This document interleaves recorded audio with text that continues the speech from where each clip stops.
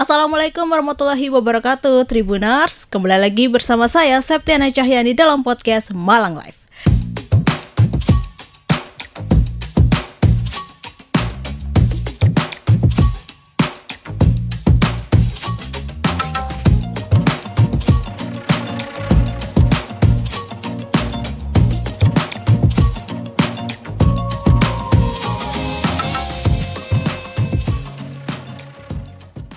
Kali ini kita sudah kedatangan narasumber dari SMK Muhammadiyah 7 Malang, yaitu ada Pak Munali selaku Kepala Sekolah SMK Muhammadiyah 7 Malang dan Pak Muhtadi selaku Humas SMK Muhammadiyah 7 Malang. Assalamualaikum warahmatullahi wabarakatuh Bapak. Waalaikumsalam warahmatullahi wabarakatuh. Sehat ya Pak ya? Alhamdulillah sehat. Ya ini Pak Munali, nama panggilannya Pak Munali. Pak Munali, terus Pak Ahmad Muhtadi, nama panggilannya Ahmad saya biasa dipanggil. Pak Ahmad ya Pak ya. Mungkin sebelumnya bisa disapa dulu Pak Tribuners yang ada di rumah.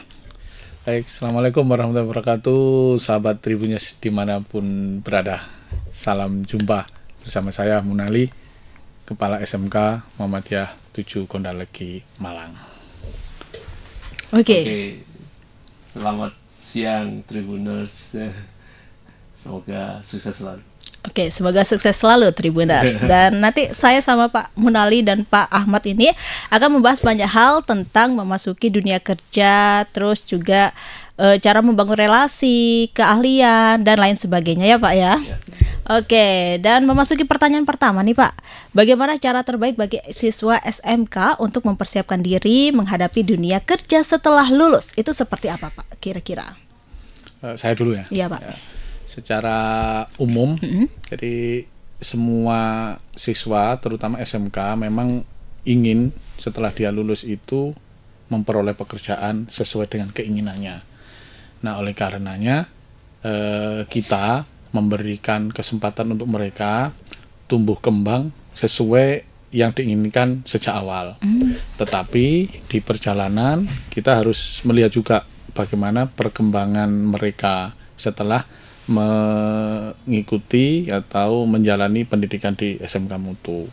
Nah, caranya kita di awal mencoba memetakan lagi Oh, memetakan lagi ya Nah, Pak ya. betul. Betul nggak minatnya ini karena keinginannya? Betul nggak apa karena passionnya? Atau ikut-ikutan. jangan-jangan, nah itu itu kan dengan orang lain. Nah kita mengajak tim humas Mm-hmm. untuk berkolaborasi dengan beberapa perusahaan yang memiliki psikiater itu. Oh, psikiater. Tadi kita melibatkan untuk tadi memetakan benar nggak eh, yang mereka inginkan itu seperti yang mereka harapkan. Gitu. Berarti caranya e, melihat bakat dan minat siswa itu dengan menjalin kerjasama dengan psikiater ya Pak ya dan juga kerjasama dengan Humas SMK Muhammadiyah 7 ini sendiri. Dan e, apa saja sih Pak keterampilan yang harus dibutuhkan siswa itu ketika memasuki dunia kerja Pak? Ya, kebetulan kemarin Pak Ahmad ini kedatangan langsung HRD di beberapa perusahaan yang biasanya memang bertanya seperti apa yang diinginkan, anaknya seperti apa, dari sisi fisik, dari sisi kemampuan atau dari sisi apa pun. Nah kemarin mungkin nanti lebih teknis ya, tekniknya seperti apa, karena Pak Ahmad kemarin langsung berkomunikasi langsung lah dengan HRD. Nah mungkin bisa dijelaskan Pak Ahmad terkait teknis yang diinginkan. Jadi langsung tutup poin biasanya nah tanya. Pak saya butuh anak yang seperti ini ini ini. Nah, Oh, berarti harus to the point gitu ya. Iya. Saya pengen yang ini gitu. Nah, Nggak mungkin bertele-tele. Seperti apa Pak Ahmad? Ya kalau industri memang alhamdulillah kita punya banyak jang- jaringan industri Hmm.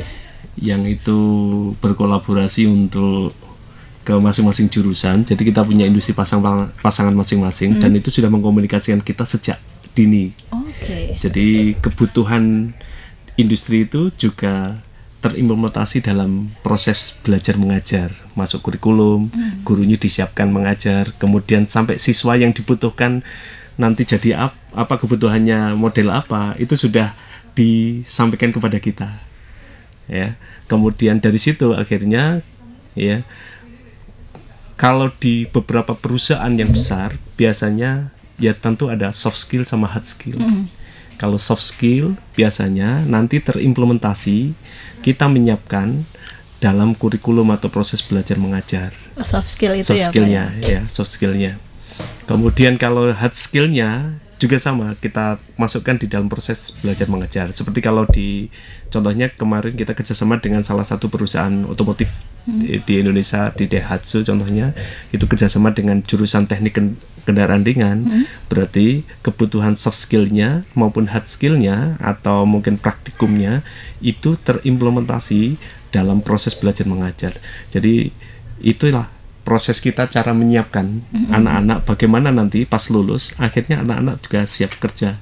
Karena proses belajar mengajar begitu juga materi dan apa yang dikerjakan anak-anak di sekolah match atau sinkron dengan apa yang dibutuhkan eh, di industri. Oke, berarti cara mengasah keterampilan siswa saat di bangku sekolah tuh dengan Betul. mengasah kemampuan soft skill dan hard skillnya Iya, ya Pak. Jadi ya Pak ya. Iya.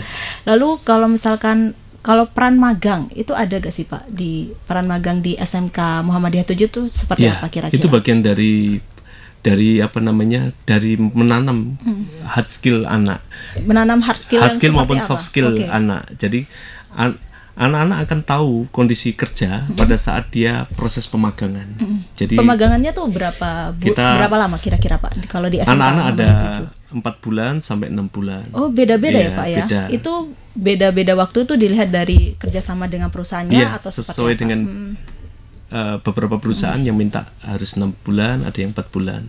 Ya, sehingga pada saat kita kita ngikutin kebutuhan yang di Hmm. industri, di situ anak akhirnya belajar tekanan kerja, Hmm. kemudian lingkungan kerja, bahkan alat yang dibutuhkan pada saat bekerja di dunia kerja, bagaimana iklim, bagaimana dia berhubungan dengan satu dengan yang lainnya, bagaimana uh, kerja berkelompok, baga- bagaimana mendengar dan apa memahami perintah. Nah, itu itu prosesnya terjadi pada saat dia Magang. pemagangan. Sehingga apa yang disampaikan guru di kelas 1 atau kelas 2 akhirnya memahami oh ini yang dibutuhkan oh ini pas kelas 3 anak-anak akhirnya sudah siap bagaimana dia sudah pernah magang itu Magang, untuk mempersiapkan diri iya. memasuki dunia kerja. jadi pada saat nanti lulus dia sudah ngerti kondisinya apa yang harus dibutuhkan pada saat dia Oke, setelah nah kalau misalkan memasuki dunia magang ya Pak ya, Iya. itu kelas berapa kira-kira Pak?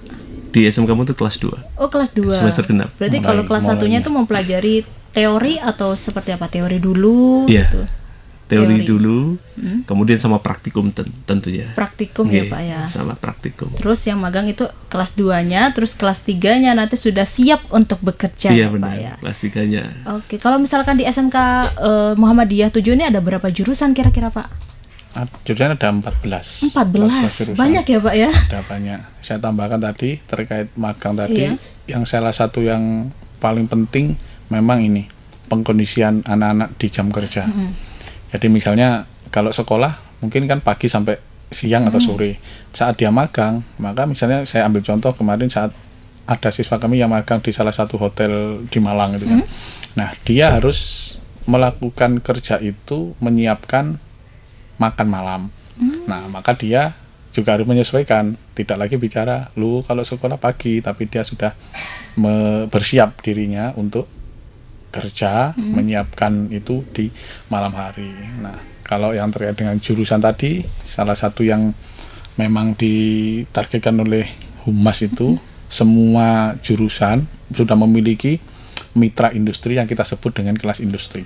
Oh, kelas jadi mulai industri. industri. Jadi misalnya tadi sampaikan kalau kendaraan ringan itu ada dengan Astra Daihatsu. Hmm. Kemudian kalau di kesehatan itu ada dengan Kimia Farma. Kemudian kalau di listrik itu ada dengan PT Panasonic. Oh, PT Panasonic Kemudian kalau ya. OTKP perbankan itu ada PT Indiratex. Nah, ha- hampir semua. Kemudian kalau kelas alat berat juga sama itu. Jadi kalau 14 itu dari teknik, bisnis manajemen, Mm-hmm. kesehatan, kemudian TIK itu masuk termasuk pariwisata. Pariwisata juga ada ya Pak ya, kesehatan juga ada, perhotelan ada, Iya, lengkap di SMK Muhammadiyah 7 lengkap, Malang ini ya Pak ya. Nah tadi kan juga banyak menjalin relasi magang dengan perusahaan-perusahaan, perusahaannya ini terkenal banget ya Pak ya. Iya. Dan apa yang harus siswa lakukan agar pengalaman magang mereka tuh lebih berharga dan bermanfaat Pak? Caranya tuh seperti apa kira-kira? Kalau cara sebetulnya dari awal tadi Bapak menyampaikan ada dua kompetensi kan, satu hard skill dan soft skillnya itu. Nah, memang kita paling menjadikan tantangan itu ada di soft skillnya. Jadi bagaimana anak-anak memiliki kekuatan mental terutama kemauan ya untuk berkompetisi di dunia kerja yang yang sangat-sangat apa ya kompatibel ya artinya sangat ketat sekali itu. Sehingga mereka harus betul-betul tahu bahwa oh saya nanti bidang kerja saya itu di bidang kesehatan. Maka harus ada komitmen bahwa bidang kesehatan tidak ada istilahnya itu berguru saat dia belajar. Maka harus harus serius harus serius misalnya itu. Jadi karena tantangannya setelah dia magang itu bagus nah Pak Ahmad ini biasanya diminta Direkrut oleh karyawan. industri kadang-kadang minta direkomkan. Nah tolong direkomkan Pak Ahmad untuk dua lulusan atau dua alumni untuk kami rekrut. Nah biasanya itu. Ini itu juga karena ini dari kesempatan saat magang anak-anak itu menjadi nilai lebih lah Oke. untuk mereka selain hanya pengalaman tadi. Nah, kalau misalkan memilih tempat magang itu ya Pak ya, itu sudah diatur oleh sekolah atau seperti apa Pak? Diatur oleh sekolah, ya sekolah jadi Pak Ahmad ini dengan tim kita sebut tim Pokja, tim Pokja PKL itu yang lanjut dengan magang itu menyiapkan beberapa perusahaan. Nah, tetapi juga tidak menutup kemungkinan ada relasi baru yang diperoleh dari siswa atau dari eh, orang tua atau dari yang Oh, lain. Oke, berarti gak hanya dari sekolah aja ya Pak ya, Ya. relasi dari orang tua siswa Betul. itu juga bisa ya Pak ya. tetap itu disampaikan Pak saya ada saudara atau teman yang ini.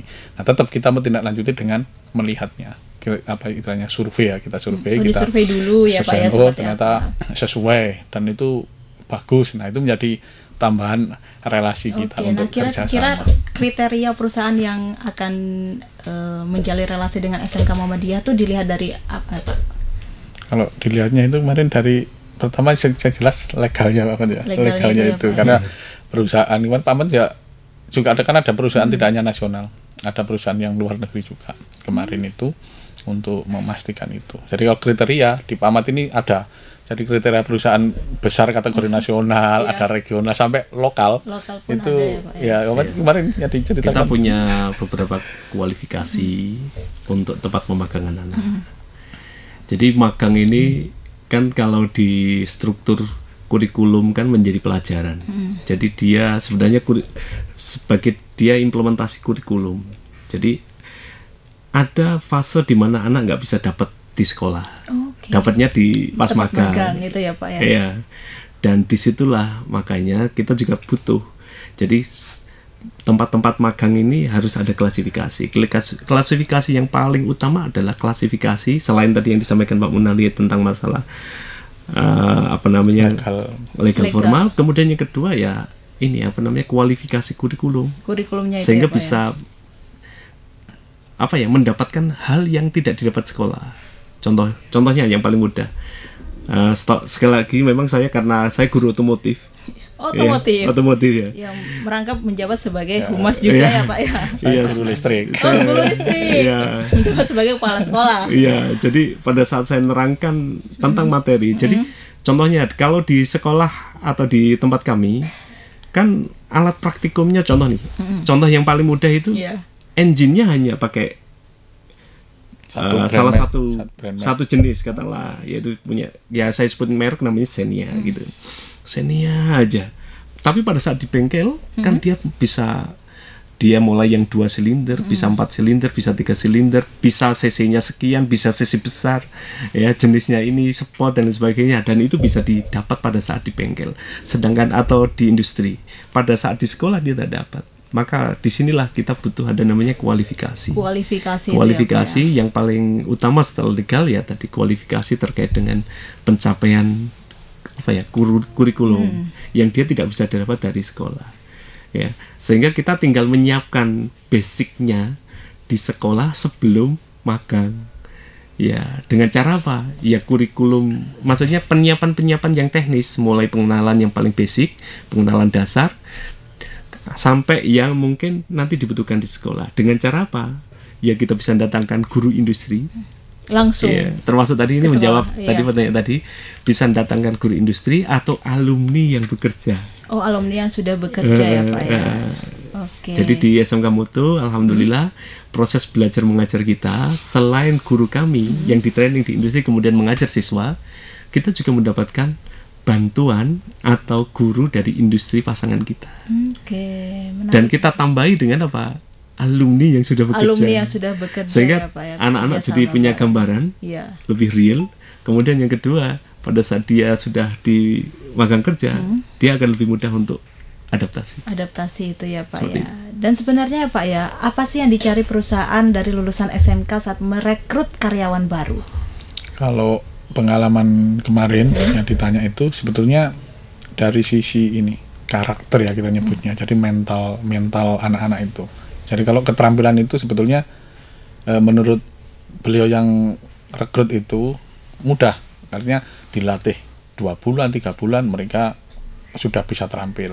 Tapi karakter, sikap, attitude, Attitude. itu yang perlu pembiasaan. Jadi Pembiasaan. rata-rata yang diutamakan dari pengalaman yang dilakukan oleh teman-teman di Umas itu yang paling sulit mereka kan kita tanya ke anak-anak ini apa yang sulit ternyata adalah menginter di interview ya terkait bagaimana attitude-nya jadi Oh, ternyata attitude-nya, iya. nah, itu, itu, itu yang itu ya, utama yang- sikap Yang, Yang utama, utama. yang Betul, yang dilihat utama dari itu. perusahaan perusahaan gitu ya Betul, Pak itu ya. pengalaman kita lah mendampingi beberapa HRD yang datang Oke, ke nah sekolah. cara bapak-bapaknya nih melatih sikap attitude, memberikan eh, gambaran attitude yang baik itu seperti apa? Kira-kira diajarkan nggak Pak di SMK Muhammadiyah 7? sangat kompleks ya kita itu. Jadi kita mulai kelas 10 tadi Ahmad bilang, dari kita itu ada yang kita sebut dengan kegiatan bimtalsik. Kita menyebutnya bimbingan mental fisik ya.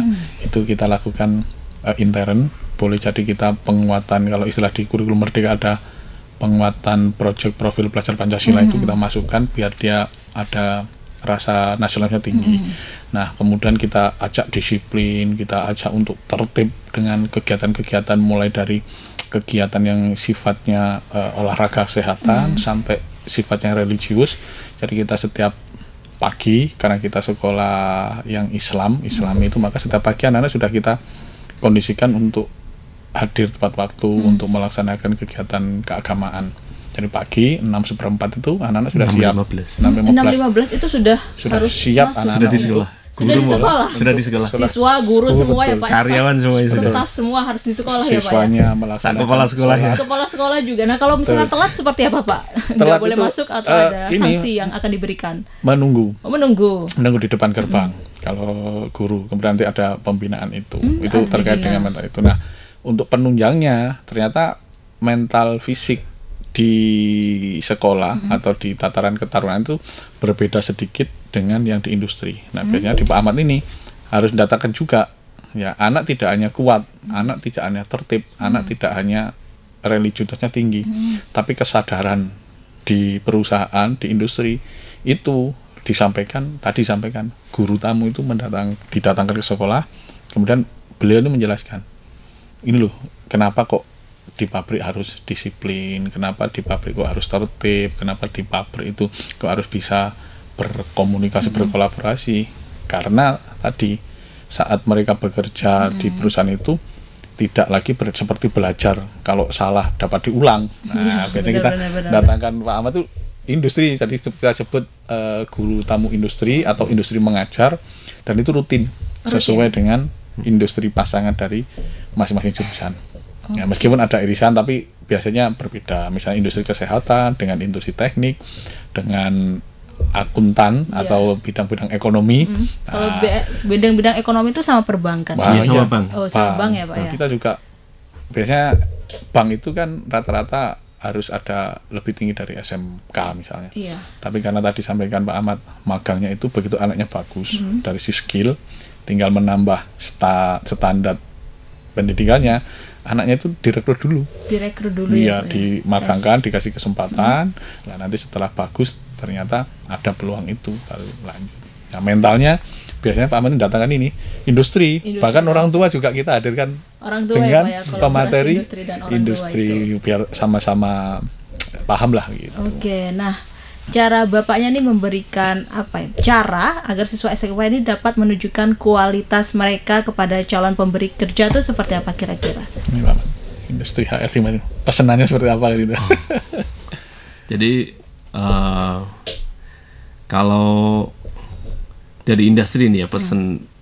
Jadi kalau di industri ini apa namanya?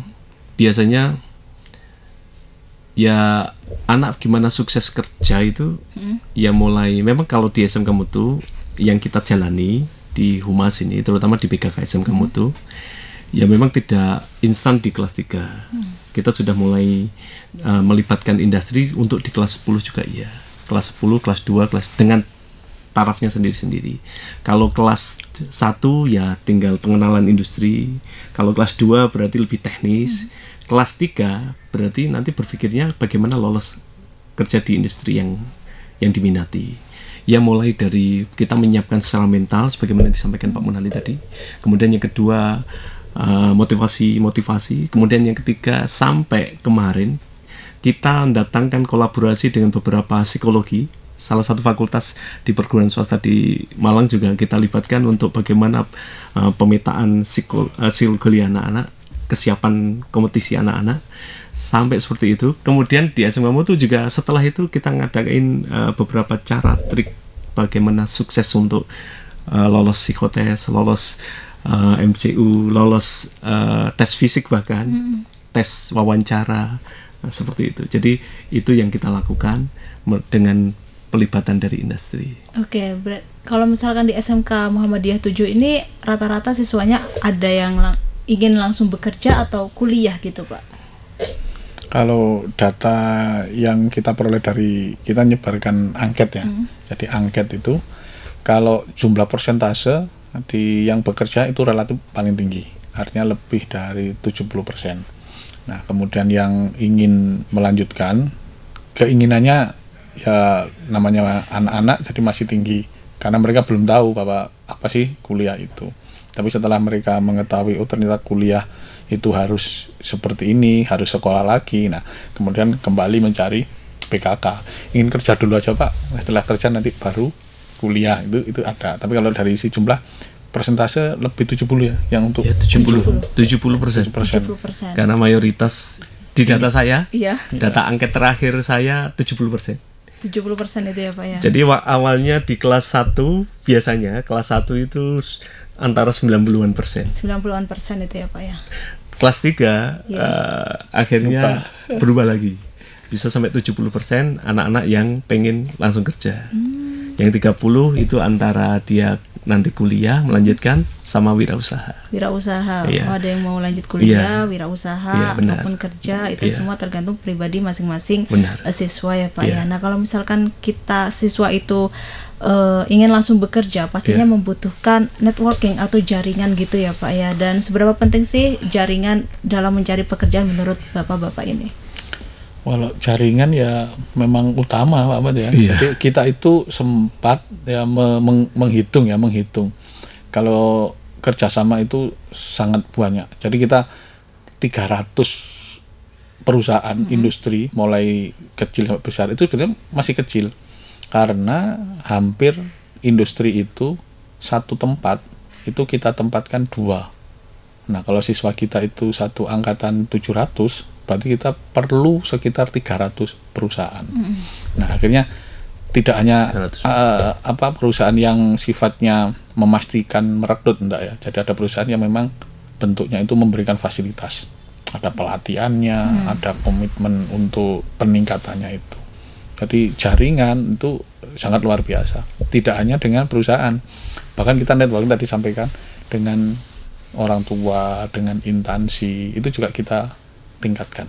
Jadi kolaborasinya kerjasama tidak hanya oh perusahaan butuh kita kerjasama, enggak. Jadi kita dengan dinas-dinas terkait, Dinas-dinas kita terkait. contoh saja ya, misalnya kita ada pelibatan tadi disampaikan ada rumah sakit yang memang di situ kontennya di tumbuh kembang anak. Ya kita dengan dinas kesehatan Kabupaten Malang itu kita menjadi tempat ini semacam apa ya tim kesehatan remaja. Jadi dipusatkan di sana.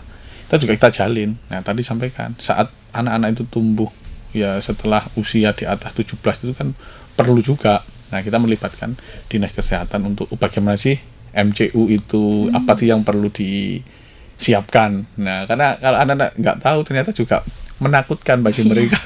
itu salah satunya. Nah biasanya kalau misalkan memasuki dunia kerja itu ya Pak ya bagi sebagian orang itu kan pasti ada tantangan tersendiri ya Pak ya.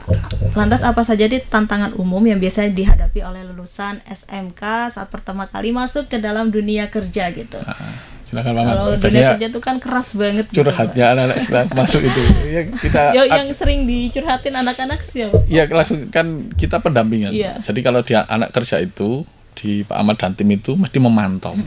Karena kita paham anak-anak ini masih awal. Jadi Pak Ahmad ini luar biasa dengan teman-teman BKK itu. Yang bisa bayangkan mulai kita mencarikan Mengawal. industri, Mengawal dari kemudian tes Iya. sampai sampai berangkat. Bahkan sampai kemarin Pak ini sampai membelikan tiket Tiket apa? Tiket untuk misalnya dia kerja di Jambi misalnya Iya. kan dia butuh dia mendampingi. Betul jadi mengantarkan sampai mengantarkan ke bandara. Mengantarkan, luar set- biasa. nah nanti tantangannya Ahmad yang luar biasa. Ada yang langsung kerasan ada yang dalam satu bulan Udah langsung ingin nyerah, kembali.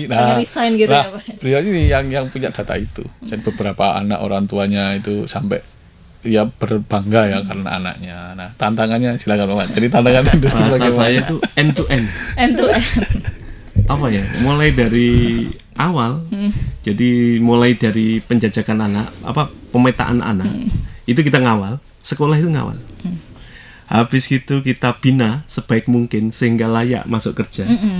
Setelah masuk kerja itu kita bagaimana anak ini masuk kerja juga kita kawal anak ini. Berarti gak dilepas aja nggak dilepas. gitu. jadi lulus gini nih ya kita kontrol. Masih- masih Iya, dikontrol ya, Pak, masih ya? kontrol. Ini masih kerja sudah bekerja belum? Eh, kemudian setelah sudah masuk kerja masih kita kontrol. Masih dikontrol juga ya Iya, Pak gimana di sana? Bahkan eh, pada saat kita sudah lulus sudah lulus itu kan artinya sudah diterima kerja Iya. pada saat ada komplain dari perusahaan kita tetap menerima komplain Oke, kritik saran gitu ya kritik ya? saran. Halo, ini mohon alumni Bapak. oh, iya, etikanya ABCD. Akhirnya kita telepon anak-anak. Jadi eh, makanya saya bilang end to end itu. Jadi sampai sampai anak harusnya sudah mandiri, tetap kita kawal. Jadi sekolah Itu masih dikawal sampai kapan kira-kira Pak? Ah, enggak, ya kita nggak tahu. Nggak tahu ya, Pak, Ya, ya. tapi kan eh, ya selagi anak ini seharusnya sudah kita Mandiri harus gitu. mandiri kan seharusnya bisa ini. Tapi faktanya di luar ini ternyata sekolah masih ada berkaitan dengan alumni kita. Hmm. Sehingga kita selak karena kita ini sekolah, sehingga kita ya secara moral tetap menjadi tanggung jawab kita karena dia juga bagian dari keluarga kita ya sebagai alumni SMK Mutu. Oke, nah tadi dari ceritanya Bapak ini ya kan ada yang siswa itu memasuki dunia kerja sebulan sudah gak betah gitu Iya, ya gitu. Pak ya pengen pulang, Iya. ada cerita unik Iya. dan lain Iya. sebagainya gitu. Nah, lantas bagaimana cara eh, sekolah ini membentuk mental yang kuat bagi siswa itu sendiri ketika memasuki dunia kerja? Kalau yang tadi sampaikan ya, kenapa kita menjalin komunikasi dengan alumni yang sudah bekerja? Dan saat mereka ada kesempatan libur, ada dapat cuti, itu kita hadirkan ke sekolah memang untuk bercerita. Jadi kita pernah ada yang satu bulan dia itu inginnya pulang, tidak tidak kerasan karena ya semua macam-macam mulai dari mungkin gajinya belum sesuai, nah apa nah set- setelah dapat satu bulan setengah, kemudian dia baru merasakan bahwa oh ternyata keahliannya ini diterima. Nah, akhirnya datang ke sekolah, ya coba kita cerita bahwa seperti ini, ini, ini, dan seterusnya. Nah, sekarang dia malah tidak mau pulang. Mengapa? Karena sudah enjoy dengan pekerjaannya. Karena menurut kami, kalau tadi bertanya, sampai kapan pendampingannya? Biasanya sampai anak tersebut sudah tidak ada rasa mengeluh, jadi tidak ada rasa berat meninggalkan orang tua, dan mereka bangga bekerja di tempat itu. Karena kita yakin memang adaptasi itu bahkan tadi cerita yang lucu itu ada salah satu anak kita yang di Kalimantan ini Pak apa cerita itu dia tidak takut dengan yang namanya jin hantu tidak takut takutnya dengan binatang buas di sana itu Binatang buas, iya. adaptasi juga kan Iya, iya. nah itu juga Butuh sama adaptasi. jadi anak-anak yang datang ke sekolah Mm-hmm. kita datangkan itu biasanya memang kita minta untuk kita nyebutnya sukses story Pak Oh, jadi sukses story. bagaimana di sana, bagaimana Secara periodik. Oh, bagaimana gitu ya, ya. masuk pertama, bagaimana minggu pertama, bagaimana sampai dia merasakan nyaman bekerja. Itu yang kita sebut tadi eh, koneksi komunikasi jaringan itu sampai kapan ya sampai anak-anak tersebut tidak ada semacam hambatan ya di tempat kerja mereka. Karena jujur orang keluar daerah itu tidak hanya anak, orang tua juga pasti was-was. Dan Iya, kita memang tadi sebenarnya komplain bukan, cuma kita memang kadang-kadang tanya, kita tanya dulu, Pak, misalnya anak-anak nanti bagus, ya kita mohon terus ada kesinambungan. Kalau misalnya nanti adik kelasnya sudah lulus, kita bisa eh, menempatkan. Tapi kalau tidak bagus, tolong kami diberi semacam atensi itu. Nah, tadi disampaikan Pak Ahmad, oh anaknya Bapak pinter sebetulnya, cuma kadang-kadang lalai misalnya. Kita masih memperoleh itu. Itu bukan sebagai komplain kritik, tapi itu masukan bagi kami. Masukan yang baik Bagi ya, ya. teman-teman menyiapkan, oh ternyata anak-anak butuh bekal sampai taraf mental itu sekian. Itu kadang-kadang ya kita berasumsi sendiri ini masukan dari perusahaan. Kan ya mus- musim misalnya, oh dilihat tiba-tiba pindah tempat tanpa Pemberitahuan gitu ke ya. sekolah itu seperti apa kira-kira Pak kalau misalkan ada yang pindah tanpa sepengetahuan sekolah? Kalau mereka sudah kerja, sudah alumni, sebenarnya tidak ada. Oh, tidak ada. hanya memang beberapa perusahaan tadi sama Pak Ahmad itu karena sudah sangat baik ya, sangat baik dengan kami. Bahkan kemarin salah satu perusahaan itu sampai memberikan rekomendasi. Oh, rekomendasi. Mau kalau mau kerja di sini harus ada stempelnya SMK Mutu. Nah, padahal saya kira stempel itu ya tesnya di SMK Mutu. Iya. Nah, ternyata tidak, ternyata beberapa alumni kita berhasil di tempat kerja di perusahaan tersebut. Jadi semacam recommended lah Recommended gitu. itu ya, Pak, ya. Ya gitu Pak ya Iya. gitu. Oke, mungkin ada yang mau ditambahkan oleh Pak Ahmad. terkait dengan ini tadi ya. Iya. Tapi saya pikir uh, yang disampaikan Pak Munalid tadi itu sebenarnya sudah pas. Sudah Memang ya, kita Pak ya? punya salah satu antisipasinya ya uh, jelas kita datangkan selain dengan alumni ya dari industri tadi. Jadi orang industrinya datang kemudian ngasih wawasan ke anak-anak itu jadi secara periodik itu minimal memberi gambaran artinya anak jadi lebih siap. Kemudian yang kedua ada alumni kita sendiri. Biasanya nih kalau diomongin sama orang tua kan anak-anak gitu. Nah ini sesama sebaya, Iya. Nah, teman sebaya mereka yang mungkin kakak tingkatnya yang dia tahu ya waktu sekolah lo kok bisa. Nah itu akhirnya success story itulah yang ya banyak lebih banyak menginspirasi anak-anak.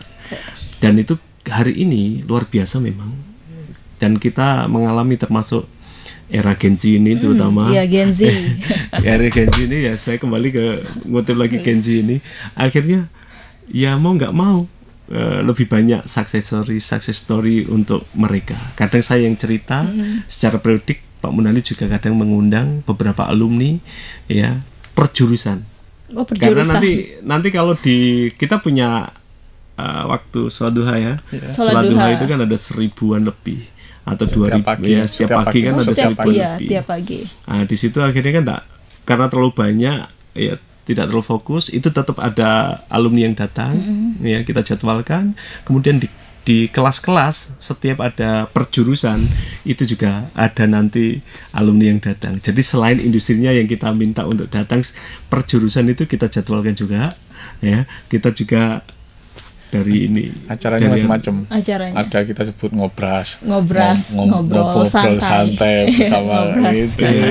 Jadi ada kita datangkan biar mereka cerita. Oke. Karena ya tadi kata pengalaman yang disampaikan itu itu lebih kalau kami guru itu kadang-kadang kan karena sudah terlalu sering berceramah ya mungkin itu tapi kalau eh, Biasa alumni- kalau misalkan alumni-alumni yang cerita itu adik-adik lebih bersemangat gitu Ah, loh untuk meng- meraih betul. apa yang ia Nah, inginkan betul. gitu. Dan juga motivasi- motivasi-motivasi dari alumni itu biasanya lebih bisa diterima oleh Nah, adik-adik ketimbang nah, dari guru iya, biasanya. betul. Iya, dan kalau misalkan eh, cara menghadapi perubahan teknologi ya Pak ya, Iya. bagaimana cara menghadapi perubahan teknologi dan tren industri yang terus berkembang saat ini?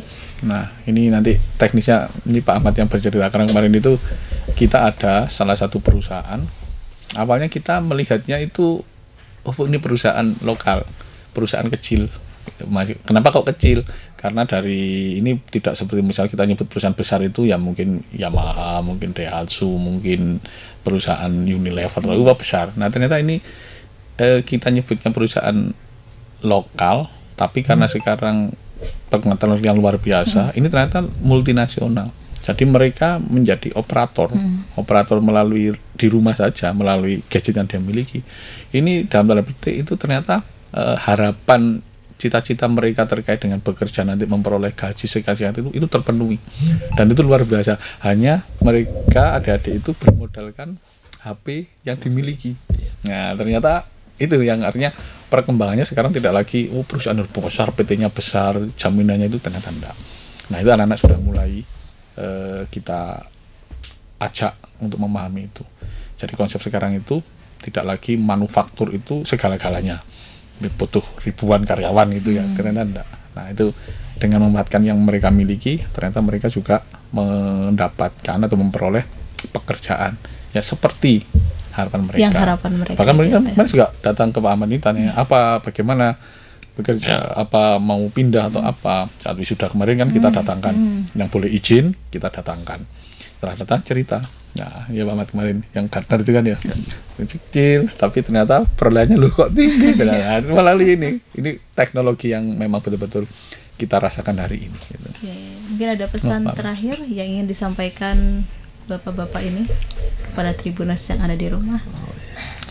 Kalau pesan saya, saya terima kasih kesempatan yang diberikan oleh Tribun ini khusus untuk Tribun News di rumah, terutama ya adik-adik yang sekarang berada di jalur pendidikan SMK.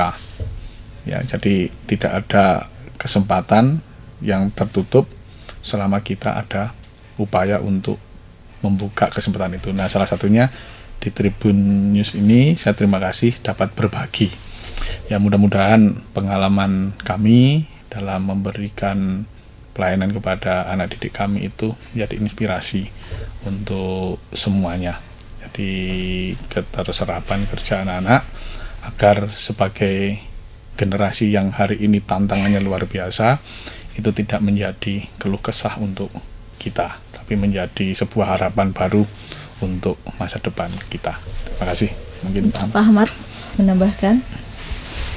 ya harapannya untuk Tribuners ya terima kasih atas uh, perhatiannya ya. Moga-moga bisa memberi inspirasi sebagaimana tadi yang disampaikan. Dan ya harapan kami dunia vokasi semakin dipercaya di dunia industri atau dunia kerja sehingga kita juga sama semoga di SMK Mutu juga selalu bisa menghadapi tantangan-tantangan ke depan semakin ini. Dan tidak lupa juga moga-moga Tribun juga sebagai sukses menjadi salah satu lapangan pekerjaan Iya, amin. yang sukses juga Amin, amin, Pak. ya seperti itu mungkin Oke, baik terima kasih Pak atas waktu dan Iya, kesempatannya siap. telah hadir di studio Tribun Jatim Network Malang ini. Iya. Baik Tribunar, sampai di sini dulu perjumpaan saya kali ini. Saya Septiana Cahayani pamit undur diri dan sampai jumpa. Assalamualaikum warahmatullahi wabarakatuh. Waalaikumsalam Waalaikumsalam. Download Tribun X sekarang. Menghadirkan lokal menjadi Indonesia.